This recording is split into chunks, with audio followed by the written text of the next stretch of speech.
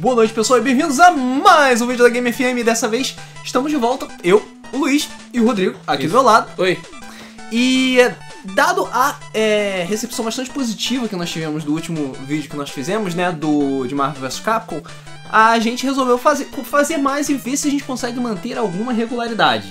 É, alguma. Na medida do possível, porque, enfim, né? É, a gente tá gravando isso aqui pré-debug mode, então isso vai depender da, tipo, da disponibilidade de tempo, tamanho do tema do debug mode, blá blá blá, etc. e tal. Sono também. É importante, por isso que a gente tá gravando antes. Mas enfim, aproveitando também que nós falamos de Marvel vs Capcom, a Capcom obviamente viu o nosso vídeo anterior e se coçou um pouquinho, mandou aquela declaração dizendo que sim, gostaríamos de reviver franquias antigas, e não só no Marvel vs Capcom, como em futuros projetos da empresa também. O que é bastante interessante porque se tem uma empresa que tem franquia pra cacete pra usar é a Capcom. É, esquecida, né? A Fiquei grande esquecido. maioria. Pois é, a grande maioria esquecida. Tiveram muitos jogos bons, principalmente na era 16 e 32 bits, Sim. né? Tipo Super Nintendo, Mega Drive, PlayStation, blá blá blá, que foram deixados de lado, que a Capcom simplesmente deixou de lado pra favorecer Resident Evil, os Street Fighters da vida. É, da vida. Da vida. e agora que tanto Resident Evil como Street Fighter não estão muito bem nas pernas, a Capcom pode aproveitar pra abrir o cofre, tirar a poeira, dar aquele tapinha e lançar alguns jogos antigos, porque, enfim, por que não, né? Por que não? Então a gente, não eu, tanto eu quanto o Rodrigo, a gente vai ficar aqui sentando, relembrando um pouquinho dessas franquias antigas, vendo o que, que poderia ser aproveitado, o que, que não poderia ser aproveitado pela Capcom em datas presentes ou datas futuras. Tem muito mais coisa do que eu pensava. Tem muito mais coisas que a gente. Pois é, a gente pegou, sentou pra pegar a lista de, de franquias que não tem coisas há muito tempo, e cara, é coisa pra cacete. É. Lembrando que a gente vai escolher algumas coisas, né? Começando então do começo, né? Obviamente, a gente vai é, botar uma das coisas que é principais, pelo menos na Capcom na época dos 16 bits. O mascote da Capcom. Pra todos aqueles que achavam que o mascote da Capcom era o Ryu, ou o Mega Man, ou o Rei Arthur, não. Não. Era Captain Commando. Captain, Enfim. Enfim, comando. Cap com, né? Capitão Comando era um beat'em up que foi lançado na época, da- no- na época do arcade, no tempo 16 bits, e depois foi portado para o Super Nintendo. E cara, era extremamente divertido. Sim, Era extremamente divertido. divertido. Ah, o porte não é muito bom, não. Não, o porte não é Mas- bom. A versão de arcade realmente é bem melhor que A a do Super versão de Nintendo. arcade é muito melhor. Mas, é, valeu o esforço. Porra, valeu o esforço, era muito bom. Eu curti pra cacete jogar com o bebê no robozão. Sim. Eu adorava jogar com bebê também. Porra, o bebê é muito maneiro. A múmia cor-de-rosa também era muito legal. Sim. O ninja era um merda. É... Ah, sim. Ninja era um merda. É. Então é isso, Capitão Comando era extremamente divertido, era legal, eu gostava. Eu acho que não custa nada lançar um beat'em up. Ou até Não mesmo. precisa ser modernizado, não. Pode ser no mesmo Não molde. pode ser, pode ser tipo o mesmo modo, sabe? Bota um 2Dzão, então assim, movimentação cima e baixo e tal, você bater, dar especial. É isso, Isso cara. aí. Nada Dificuldade alta. dificuldade ah, difícil pra caralho. Não precisa de mais nada.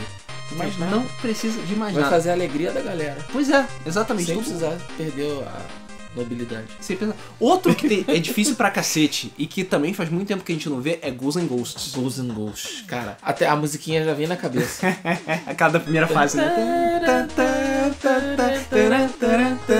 Mas enfim, Ghosts and Ghosts era extremamente divertido você jogar com o Rei Arthur, é, passar por uma porrada de coisas, ter o pulo incontrolável dele, que era extremamente frustrante, e acho que era a razão de 99% das mortes. 90, 99,9% Isso. das mortes. Os outros Sim, era sim. você ter que zerar a porra do jogo de novo pra pegar o final verdadeiro. Meu E, Deus. enfim, eu não conseguia zerar nem a primeira vez. Cara, eu consegui uma vez. Cara, você é muito guerreiro, parabéns. É, Eu não conseguia passar da primeira fase.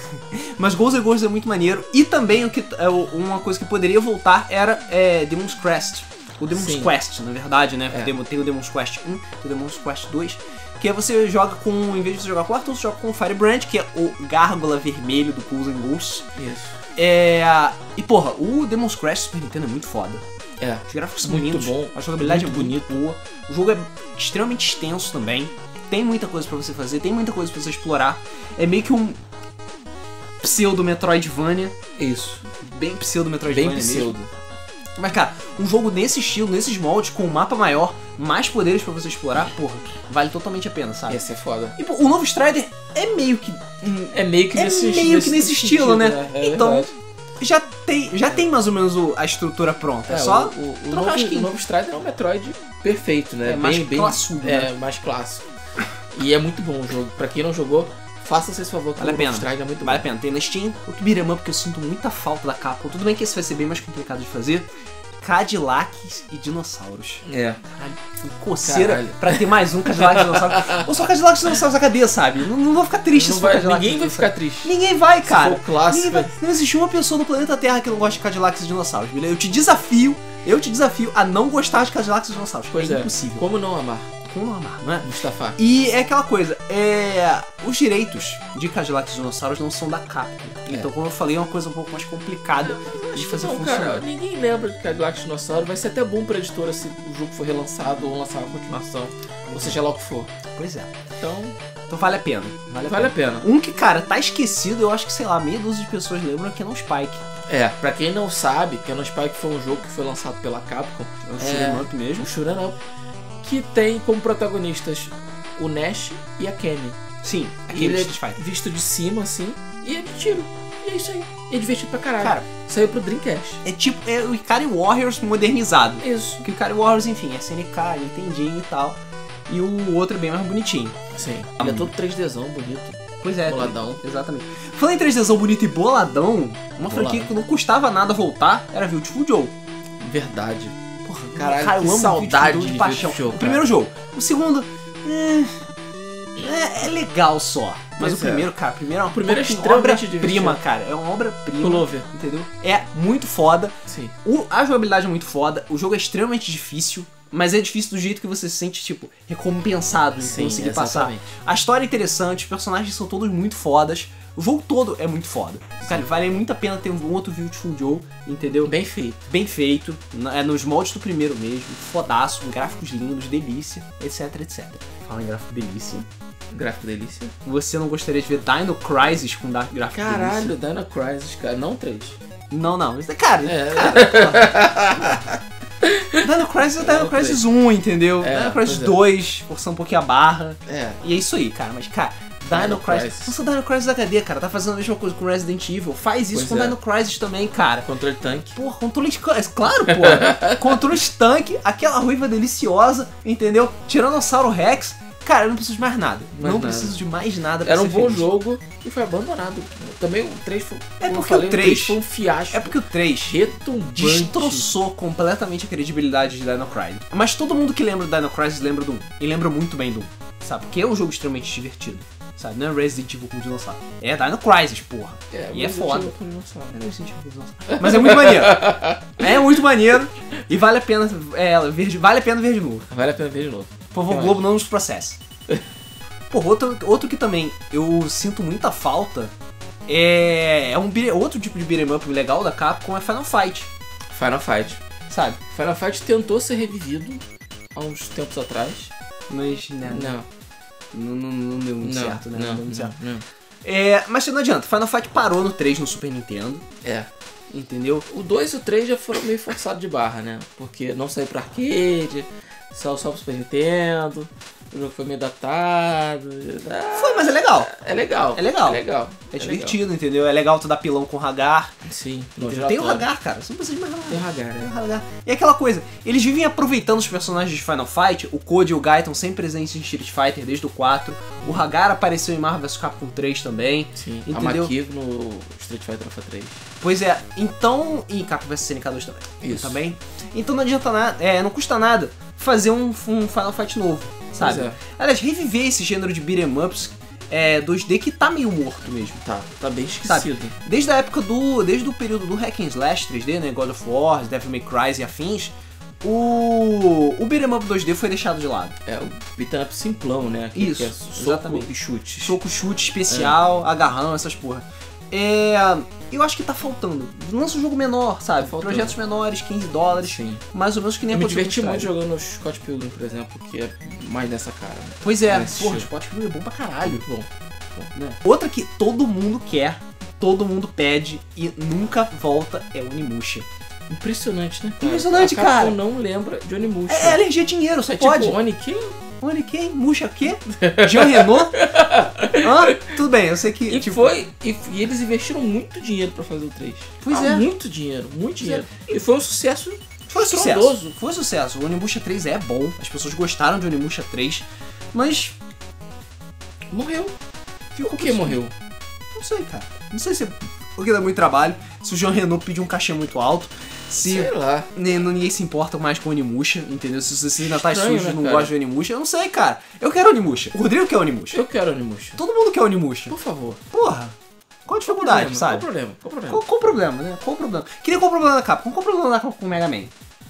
Você sabe o problema da Capcom com o Mega Man? Eu não sei o problema da Capcom com o Mega Man, sabe? É Mega Man, caralho! Essa porra existe desde 1987. Tem mais de 40 jogos na porra da manga. Caralho, por que, que não lança Mega Man novo, cara? Não sei, cara. Qual Acho que eles esqueceram como faz. Esqueceram, é, esqueceram mesmo como faz. Porque o Mega Man 10 é meio lixoso mesmo. e tudo que veio depois, foda-se. Entendeu? Tá o Mega Man, Cara, coitado, pegando poeira. Eu, eu não vejo por que não modernizar graficamente o Mega Man. Pode modernizar. Só que. O problema é que, coincidentemente, toda vez que moderniza o gráfico do Mega Man, a jogabilidade piora Mas absurdamente. não precisa. Tipo o que aconteceu com o X, pra sabe? quê? Você pega o, Mega Man clássico, só bota um gráfico mais bonito. Isso aí, não precisa mudar mecânica. Deixa a mecânica como tá. Mega Man é tipo, sei lá. É, é tipo jogo de luta. Se você mudar muito, estraga. É tipo Mario, sabe? Não pode tipo mudar. Mario, é exatamente. Não, não pode, cara. Não pode, não Não pode. pode mudar. Porra, cadê o Mega Man classudão, sabe? Faz o Mega Man 11. Bota os gráficos maneiros em cel shading, sabe? Por que não? Pronto. Tá que bom, cara. Tá bom, bota uma história idiota, porque Mega Man tem que ter história idiota. Tem que ter história idiota. Sabe? Bota a lojinha, bota o rush, bota você pegar as arminhas bestas, bota pra tu fazer umas explorações pra poder retornar nas fases. coisa que Acabou. tu- Alergia. Alergia a dinheiro. Alergia a dinheiro, né? Alergia a dinheiro. Pô, sabe uma que eu sinto muita falta também? Hum. Tudo bem que é da. Enfim, foi Second Party da Capcom, mas, cara, God Hand. God Hand. God Hand. Caralho, eu me lembro. Porra, God Hand é muito bom. É muito bom. Muito divertido. Extremamente absurdo também. Cara, não Exatamente. faz sentido nenhum. Não sei se é assim, mais puro Mas é por e isso que é bom. difícil. Mas por isso que era bom, sabe? é Era porque era muito bom. absurdo. É porque é extremamente engraçado, entendeu? Sim. E era muito difícil mesmo. Era eu difícil nunca consegui zerar do God Hand, porque É. caralho. Que pariu. É, é Clover. Que é um Clover. estúdio que eu nunca mais vi em lugar nenhum. E acabou. Acabou, Clover né? foi extinta pela Capcom, infelizmente. Idiota demais, cara. A Clover fez Onimusha, fez Fiz Okami, Okami, que também. o Nunca Beautiful mais. Joe deles também, Beautiful Joe deles e o God Hand. God Hand foi o último. A Clover não fazia jogo ruim. Não fazia jogo. Não ruim. fazia jogo ruim. Ponto. Tudo bem que Fazia. Beautiful Joe 2, né? Mas É, porra, é mais ou exceção menos. confirma a regra, sabe? Sim. Porra. Que nem Power Stone também. É.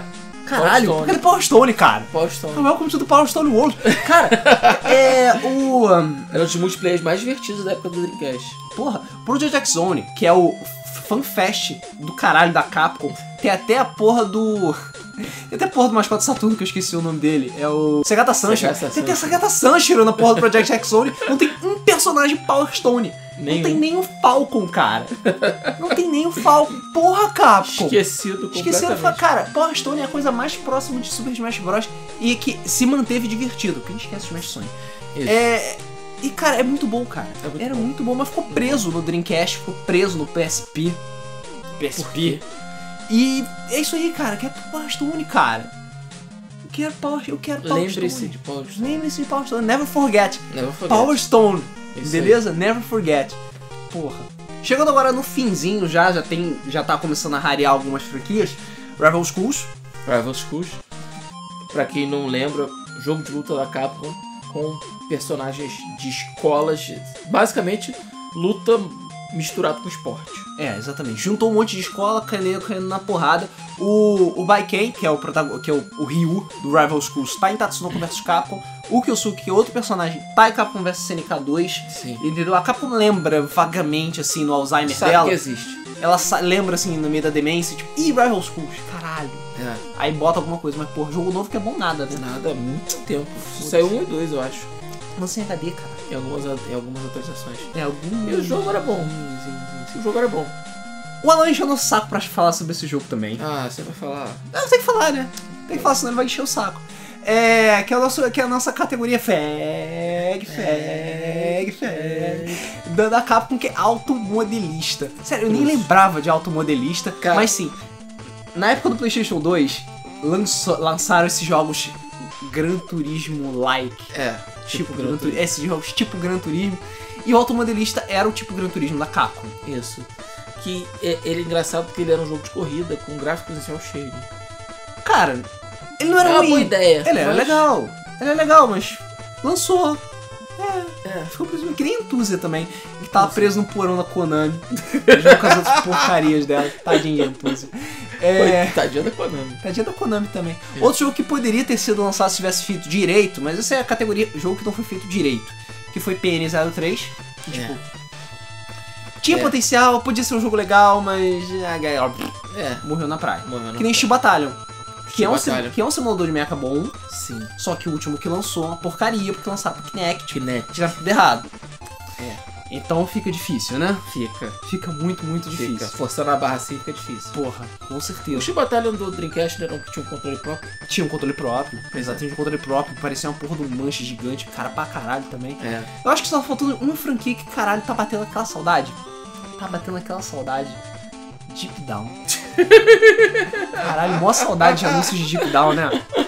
Porra, não tem um pouco que Capcom não faz essa merda. Essa porra É. tá enterrada, Tá sério. enterrado. Morreu, morreu, tá morto, foda-se. Não vai voltar mais. A gente não pode esquecer do Darkstalkers.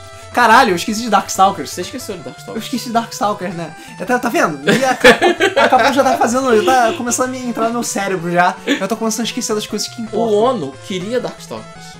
É, mas a Ele, Capcom... ele chegou a anunciar Darkstalkers. Mas a Capcom... a Capcom não deixou. não deixou. Por quê? Lançaram o porte HD, o, o porte HD de qualquer jeito. De qualquer jeito, a, literalmente. Igual a cara. Lançaram igual a cara.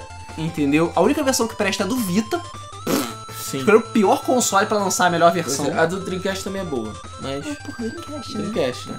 O console é morto, língua morta. E. É, língua morta. É. E aí. E Darkstalkers ficou por isso mesmo, sabe? Parece que hoje em dia a Capcom só tem espaço pra um jogo de luta. É, O o que é dois, triste, né? né? Porque, Porque ela tem enfim, vai ter mais 4 ou. 5 ou mais. Pois até. é, pois é. E tem que parar de só usar Morrigan, sabe? Lança o Darkstalkers novo. Pois é. Sabe? Bota um é. legal. Tem muitos personagens maneiros. Tem no muito Darkstalkers. personagem maneiro. Tem muita gente que gosta de Darkstalkers, entendeu? Então, vale a pena. Vai. Vale a pena porque tem público, tem demanda, entendeu? Não é só Resident Evil, não é só Street Fighter. A Capcom tem muita coisa que ela pode explorar e ela simplesmente não explora por, enfim, N motivos. Principalmente alergia a dinheiro, Alergia de dinheiro. né? Deve ser. É, pois é. Então é isso. Nós estamos por aqui com mais um episódio do nosso. Esse quadro ainda não tem nome, né? Não. A gente, vai, a gente vai conseguir um nome pra esse quadro da Game FM. Sugestões. Sugestões, deem sugestões nos comentários. E deem também as suas opiniões nos comentários sobre que séries da Capcom que você gostaria que a Capcom revivesse, tirasse, fizesse, é, levantasse do túmulo, Rise tirasse do, do porão, limpasse a ferrugem, coisas do gênero. Entendeu? Deixe sua opinião nos comentários. E é isso aí. Nós ficamos por aqui Tchau. e nos vemos no próximo. Tchau.